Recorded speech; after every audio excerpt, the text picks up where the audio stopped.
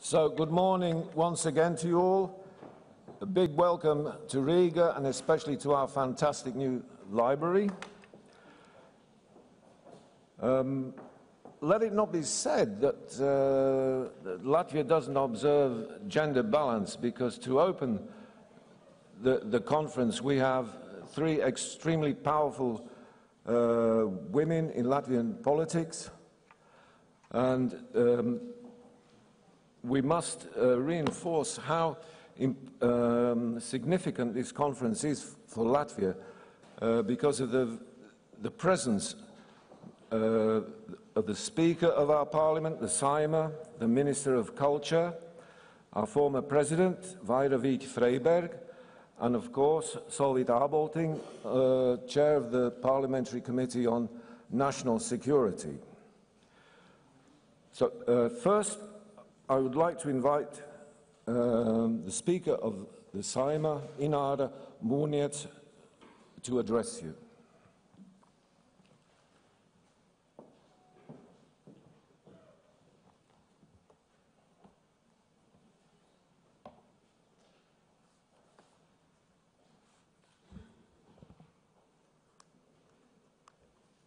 Good morning to everyone. Madam Minister, ladies and gentlemen, dear colleagues. I heartily welcome you to Riga and the audiovisual conference devoted to strengthening media field and common European identity. This conference is organized by the Ministry of Culture within the framework of Latvian presidency of the Council of the EU, and it is very timely and relevant addition to the broad set of thematic events organized by our presidency. Some of the finest European experts and local professionals are present at this conference. Therefore, this event has a great potential to generate ideas, consolidate opinions, and arrive at strong conclusions and recommendations. I would like to comment on a couple of issues on the impressive agenda of this two-day event. The Latvian presidency is closely tied with the upcoming developments in the Audiovisual Media Services Directive. And one of the questions set for today's discussions is as follows. Does the Audiovisual Media Services Directive take into account the rapid technological developments and new business models? While introducing amendments into the national broadcast legislation, the Latvian parliament identified challenges facing the Latvian media market. The Latvian media market is under a risk to become extinct. Latvian language broadcasters, a very few of them which are still left, are struggling against the overwhelming and even suffocating effect of broadcasts in the Russian language. Part of them, because of events in Ukraine, have become increasingly hostile. In this context, it is particularly important to find viable tools that should be included in the directive. The country of origin principle in audiovisual media services is being introduced in equally challenging circumstances. Legal aspects of all the criteria that define a country as a country of origin have to be fully understood and classified in a more precise manner. I'm looking forward to the parallel working groups that will focus on ways to strengthen the independence of regulators, to deliberate on whether it is possible to introduce a single European standard that would ensure technical compatibility and seek ways to improve consumers' accessibility to and availability of the desired content. We all are looking forward to the innovations brought by technical progress. However, in reality, a politically independent, highly professional, legally supported, and institutionally equipped regulator is the cornerstone of a fully functional national broadcast environment. To explain the actual situation in which this event is taking place, I would like to emphasize the following. in a perfect world, the media would be mentioned exclusively with reference to freedom of expression, freedom of thought, freedom of speech, as well as in the context of the topic of today's discussion, namely technical aspects of a free media market and ways perfect broadcasting. As a former journalist myself, which I still am in my heart and in my thinking, I would prefer to indulge in, in, in a discussion on legislation aimed at improving a consumer oriented broadcasting. I would be happy to talk only about the professionalism of media that ensures the best quality of the finest media product. Today's conference examines the need to strengthen the European audiovisual media market so that it can respond to the challenges of rapid technological advances, increasing global competition, and changing consumer habits. These are topics of the highest importance. However, we do not, we do not live in a perfect world. Moreover, the geopolitical developments show that the dangerous reality affects both the content and technical operation of media. Sometimes we can observe a total misuse of media tools and operation. The issue of media pluralism in the current geopolitical situation is also closely linked with the threatening situation caused by Russia in eastern Ukraine. In this regard, I would like to refer to a recent remark by Martin Lidegaard, Denmark's Minister for Foreign Affairs, who concerning situation in Nordic and Baltic states, in his interview for Reuters said the following. You have massive propaganda, provocations, stimulation of groups inside other countries, which is not warfare, but which is very hostile and close to warfare. We have to admit that Europe is confused by hybrid warfare, which is using broadcasts as one of the hostile operation tools. However, I have always believed, and I st- still firmly believe, in our ability to find the right solutions. Since this conference is attended by an array of distinguished speakers, it has great potential to find the right and necessary solutions.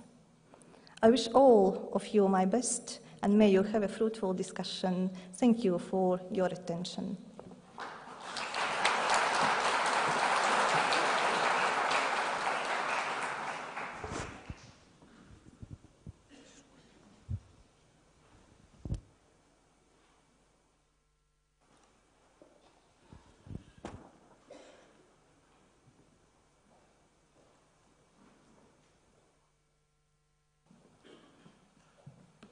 And now, uh, please give a warm welcome uh, to the Latvian Minister of Culture, Dace Melbārde. And you will be, it, it is interesting to note that uh, among all her other responsibilities, I think from September last year, uh, the Ministry of Culture has been given the brief of media policy. I think we were the last in, in, the European Union to have a specific department, but this, of course, has placed an enormous responsibility on what is a, a, a quite, quite modestly sized uh, ministry. Please, Minister.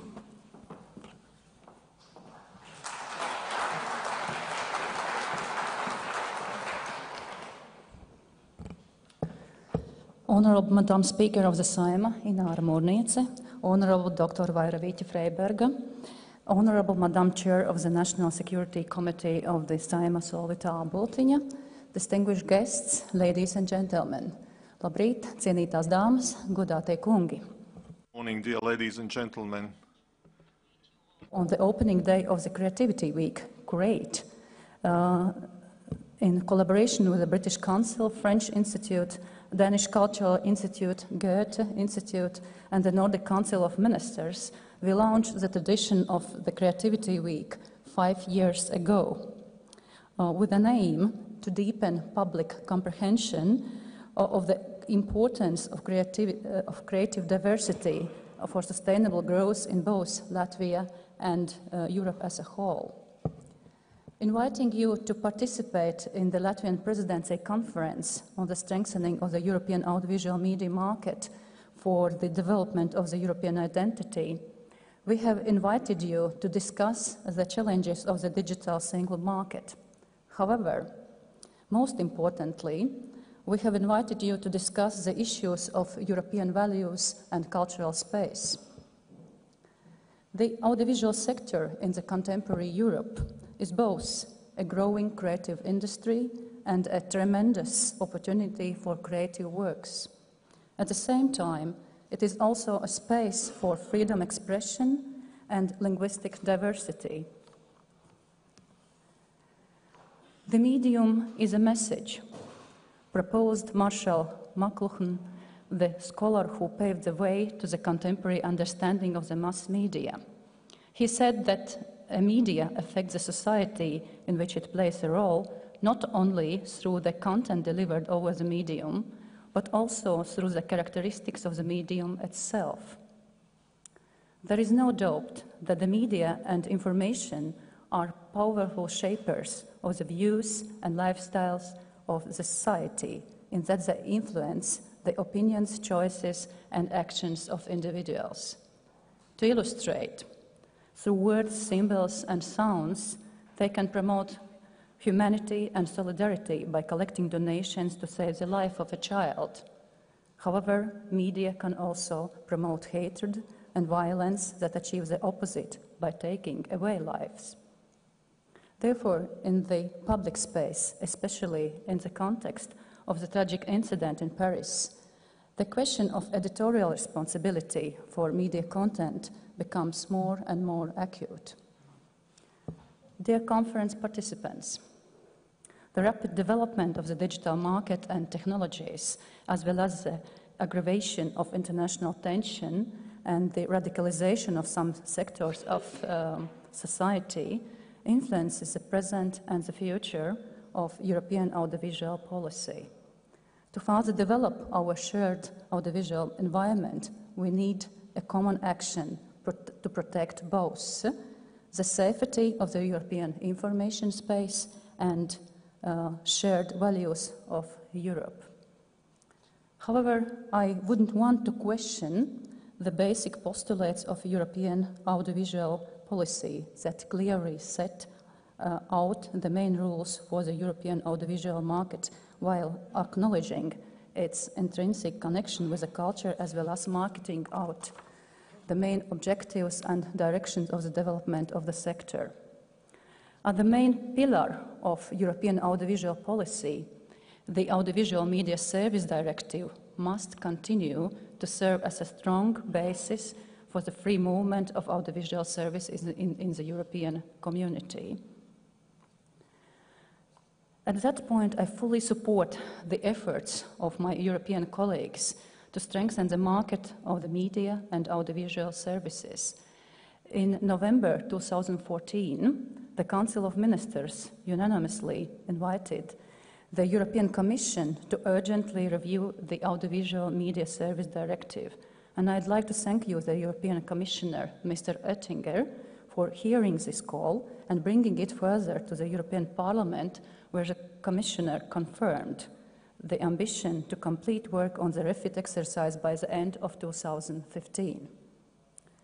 Any review of audiovisual regulation must take into account the actions carried out by ministers responsible for uh, foreign policy, as well as the European External Action Service because they are leading the discussion on the European Strategic Communication Plan in response to the geopolitical changes. There is also the need uh, to be aware of the fact that European audiovisual and media policy has a direct impact on the national security of the member states, as Madame Mūrniece mentioned before.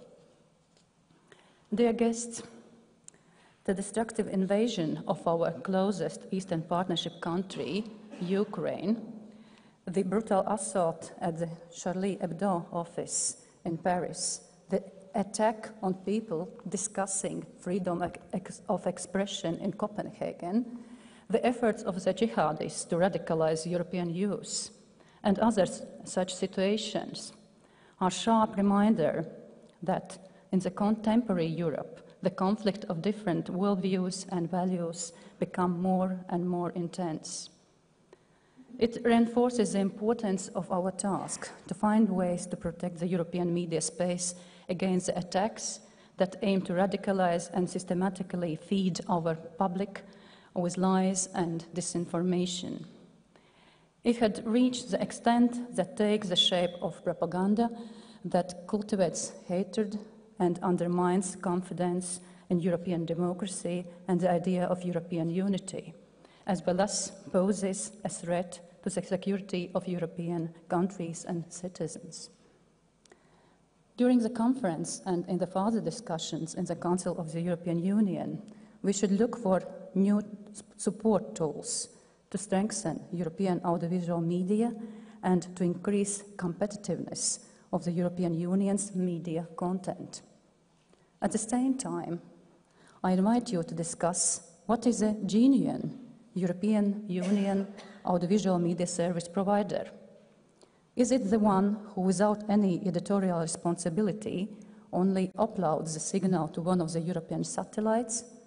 Or is it the one who bears responsibility for editorial decisions about the content and what is being broadcast in Europe?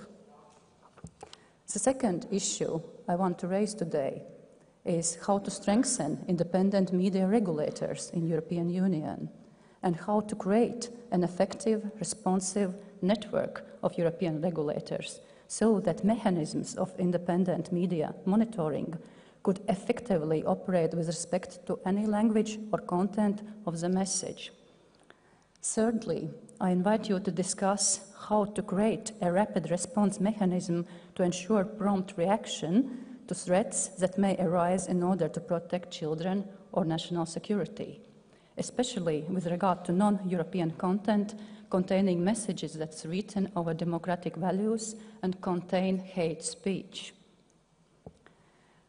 Dear participants of the conference, these are complicated and complex issues. At the same time, they call for an urgent response. And let me, in advance, to express my gratitude for your interest, enthusiasm, and contribution to the planned discussions, as well as for your work to prepare such proposals that could strengthen the European audiovisual market and information space. The discussions, which will take place next two days, will be summarized, and during the Latvian presidency, uh, they will well feed into further discussions at the European level and in those with other European cooperation partners.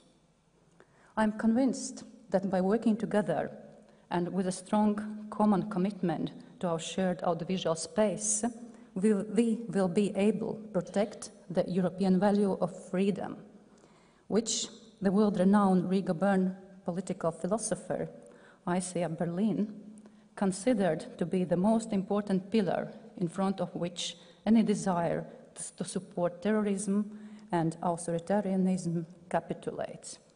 I thank you for your attention.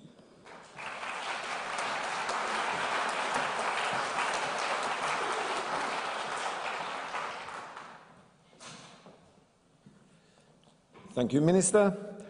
Uh, it now falls on me to introduce uh, the speaker for the uh, keynote speech. Uh, this is former President of Latvia, Madam Vaira Vīķe-Freiberga, who was also chair of the high-level group on freedom and pluralism of the media in the European Union. Uh, we are very lucky to have Vaira uh, Vīķe-Freiberga here today because um, he, when she left uh, the presidency uh, of Latvia, her workload became even greater. She's flying all over the world, uh, lecturing and giving advice. So I'm personally very, very happy to, to welcome uh, Madame Vīķe-Freiberga. The floor is yours.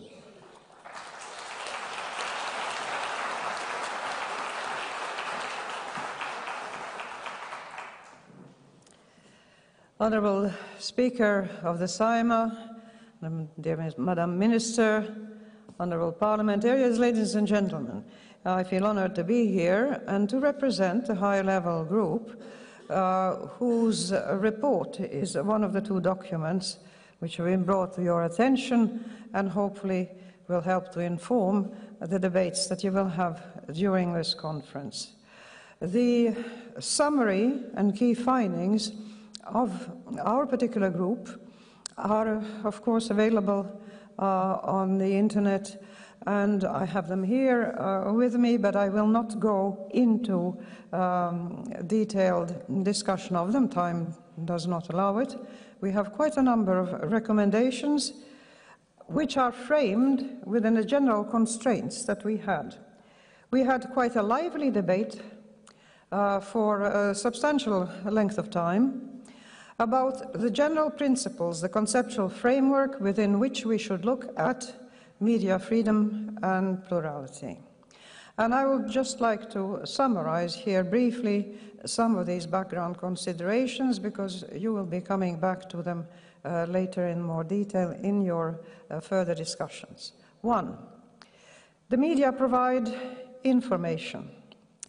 And information is an essential ingredient, indeed a basic pillar of democracy. If democracy means the participation of every citizen in political processes and having a say uh, directly or indirectly in the decisions uh, that are taken and that affect the public good, then of course a democracy is only as strong uh, and only as solid as this flow of information uh, from the world at large uh, to the citizen. Ideally, the citizen should be sufficiently informed about what is happening in their country, uh, in their region, in their city and town, uh, to understand the different offers that political parties uh, might be presenting in the next elections and make an informed and hopefully enlightened choice when time comes to cast their ballots, since, of course, for practical reasons, few countries like, like uh, Switzerland uh, can afford to uh, give every um, major decision to uh, the popular referendum vote. We do have representative democracies. But what this means is that the media, uh, the medium, as McLuhan said, is indeed the message in the sense that no medium reflects reality to its fullest.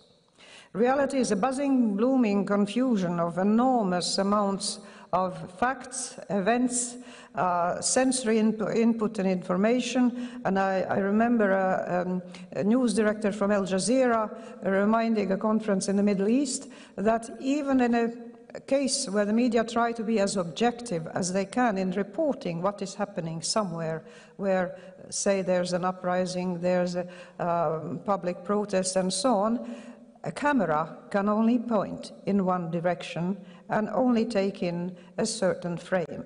There may be lots of things going on beyond the frame of the camera that at that moment will not be reflected. That means that the media have a selective, a selective influence that is absolutely inevitable by the simple facts of life. And secondly, the media has a selective influence on what you perceive as a citizen, as an ordinary human being, because uh, the events are to be interpreted. If you had just a raw flow of events, you would be totally confused and nobody would want that. The media typically have an editorial policy. They typically have certain leanings. They have possibly some certain uh, political preferences. Uh, and the public should be informed about what kind of medium uh, they are dealing with, where their information comes from. In other words, what one of the recommendations that we come up with is that there should be full disclosure and transparency about the ownership of the media, uh, uh, because we know from a Leveson inquiry in Great Britain that uh, media moguls like, uh, like Mr. Murdoch have openly uh, bragged to all who would hear that they and their publications uh, having accumulated uh, a rather a monopoly on the most important and most popular publications in Great Britain, that they feel that they have actually put in place, as uh, Mr. Murdoch puts it, the last three prime ministers, and not all of them from the same party either. In other words, that here you have a media mogul boasting in his old age uh, that his lifelong uh, he has been uh, unduly influencing political processes, and that is not what we would like to see in a democracy. And then, of course, you have the normal and usual concerns about autocratic, uh, authoritarian regimes taking political control of the media, and that, of course, is the greatest danger uh, in countries where democracy does not reign. That means that uh, the government uh, or the president or the lead, uh, ruling clique or the, or the uh, ruling military junta, as the case may be, uh, have total control of all the media and shape uh, to their advantage all the news that the citizen receives. And the citizen, therefore, is submitted to continual brainwashing, if not neurolinguistic programming, to the extent that they become like zombies who simply um, think in a certain direction where they have been manipulated, into which they have been pushed. Uh, and when we talk about uh, their free choice in elections, if there, by any chance, uh, they are given for show uh, and for pretense uh, several candidates uh, to choose from, then it's very clear in advance, and we know I could name any number of countries where this is clear in advance who will win the elections because either some parties have not been allowed to register, uh, others, uh, leaders have been put in jail, others have been shot or killed, and so on and so forth. But I'd like to go back and to remind you that Political authoritarianism is a major impediment to producing a knowledge society with informed citizens who can use to the fullest their democratic rights. However, uh, money, if you like, in one word, money is another source of uh, change of the content of information, of shaping uh, its uh, direction, tone, uh, and uh, ultimate hidden message, sometimes very cleverly hidden. Uh, and it is most definitely not to the advantage of media plurality if, uh, as we have countries in the European Union, where all the written press belongs to the same media concern, uh, and where the uh, plurality of opinions is assured by editorial freedom, uh, which the owners claim they leave to their editors of each particular, say, uh, printed uh, press publication. That is all very nice, but one wonders if one day the interests of this media concern should be threatened in one way or another, how open they will be and how assured we can be that they will not interfere like Mr. Murdoch did in shaping the politics of the country. We do have countries, uh, again, where the television media are concentrated in a very band of, narrow band of owners. Sometimes it's a single, again, conglomerate uh, that owns it. And it is dangerous when you have a conglomerate, for instance, that is all in the hands of the uh, defense industry or, or, or the uh, arms manufacturing industry. This is not the sort of phenomenon that ideally you would like to see, even though supposedly the editors and so on uh, are given editorial freedom. That is, of course, the big if. Do we have, in addition to the freedom of expression, in addition to uh, the uh, professionalism of the journalists involved, uh, uh do we have editorial freedom for them? And then finally, we come also to the quality the quality of the journalism uh, and the reporting that we get. And I'm talking about media as a whole. Maybe uh, traditionally, of course, uh, the printed media are our old model. It's the oldest one. But of course, television and radio have been around for a long time. And the new social media and all the others and internet have made enormous changes in the way we communicate with each other.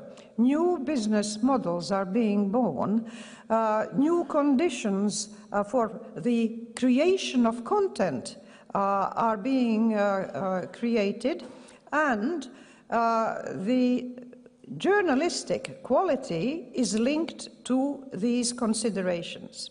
One example uh, concerns from the Journalists uh, um, Union uh, of the European Union countries. Journalists are concerned about their job security because if, say, they work as reporting uh, uh, and investigative journalists for a printed medium, and uh, they discover that the printing media keeps losing money uh, and has uh, sort of mitigated success in entering the market in competition uh, with media uh, portals on the internet and so on.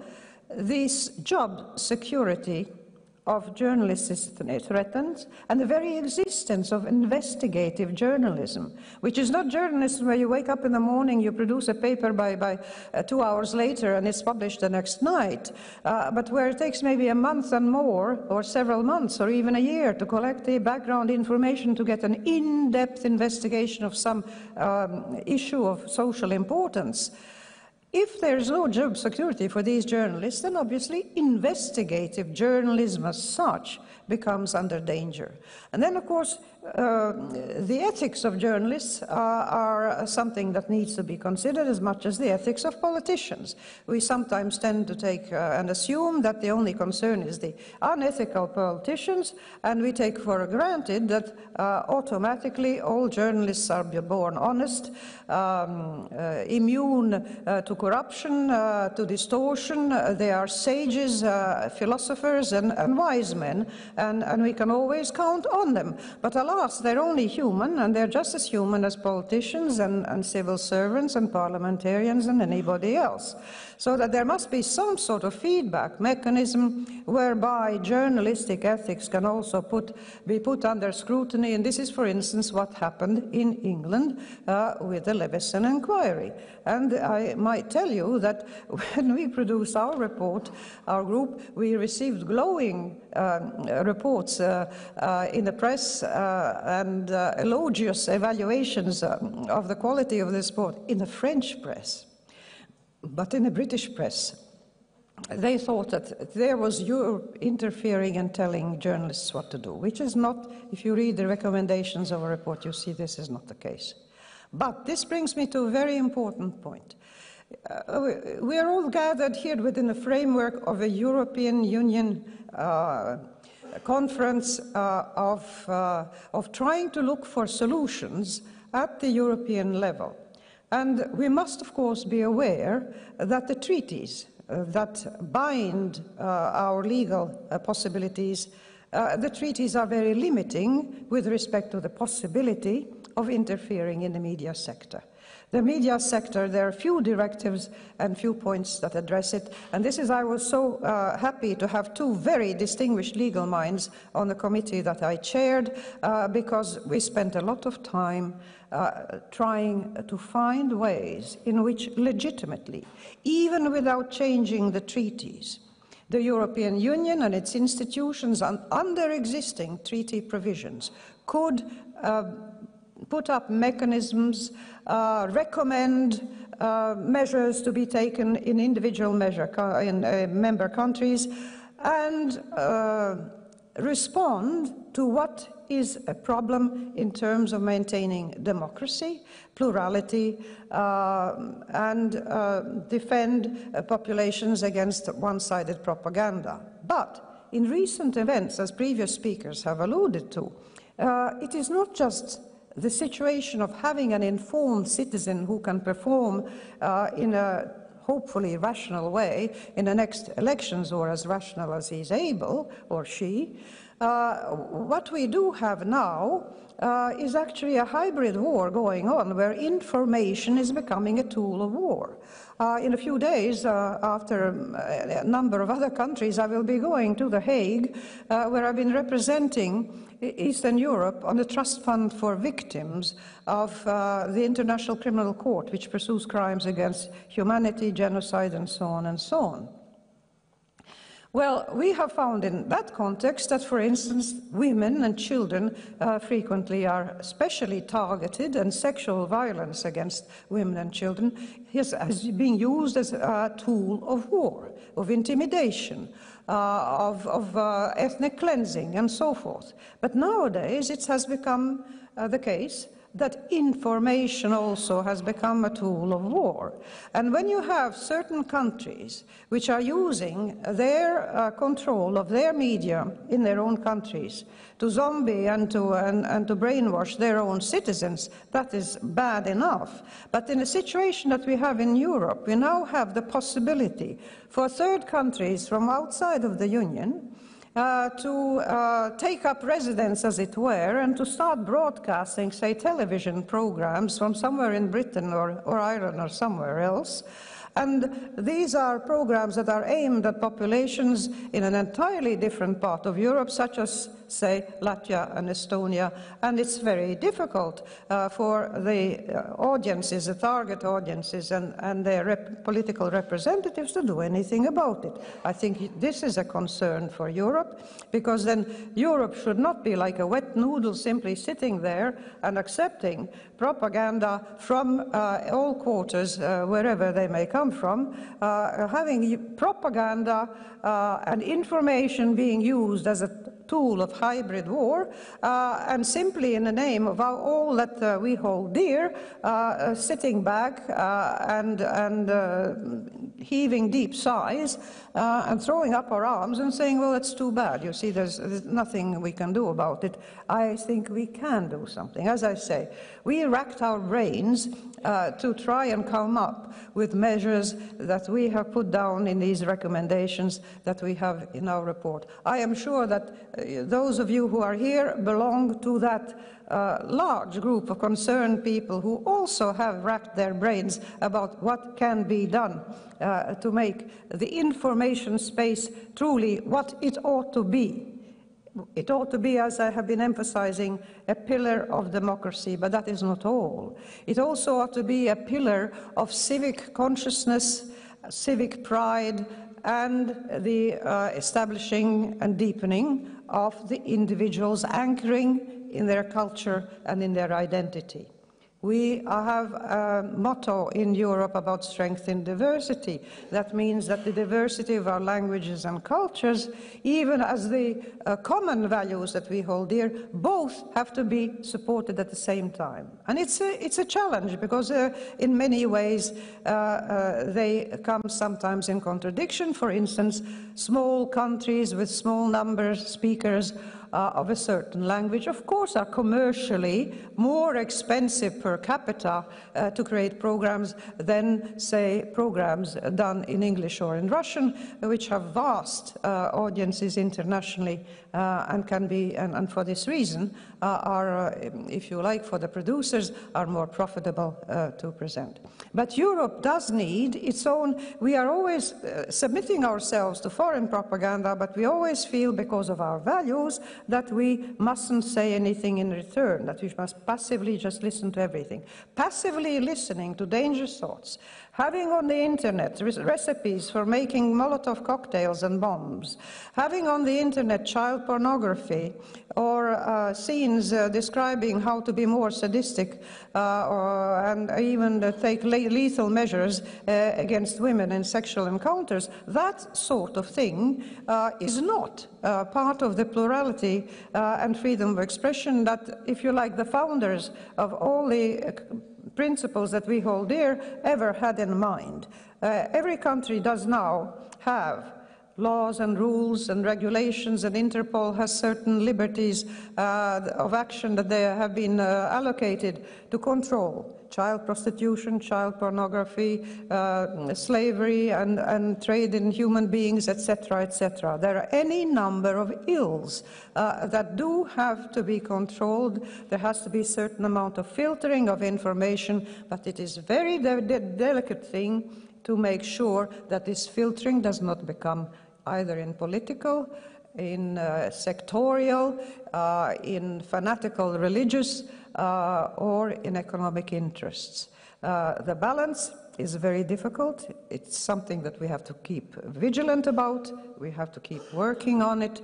And ladies and gentlemen, here is a challenge for you. Within the framework of the existing treaties, without going to that enormous and, and almost hopeless process of rewriting the treaties, how to find means and ways within each member country of the European Union and in the Union as a whole, how to find ways of making sure that the media perform a positive service to our uh, populations, uh, that they help them in establishing their own sense of identity, their belongingness and their roots in their country and in their culture that they help preserve uh, big languages and small, uh, that they inform citizens about the rest of Europe, and that sense of solidarity that politicians sometimes uh, almost give up hope uh, of establishing, that the populations from the grassroots up would have a sense of uh, sympathy, of empathy, and of understanding between the North and the South, the East and the West, the old and the new,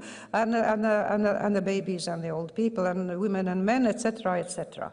This sort of thing is some, uh, we have these ideals that we have to defend, but we have to look to practical means how to put them in place. In this, ladies and gentlemen, you have a challenge before you, and I offer you my very best wishes for success.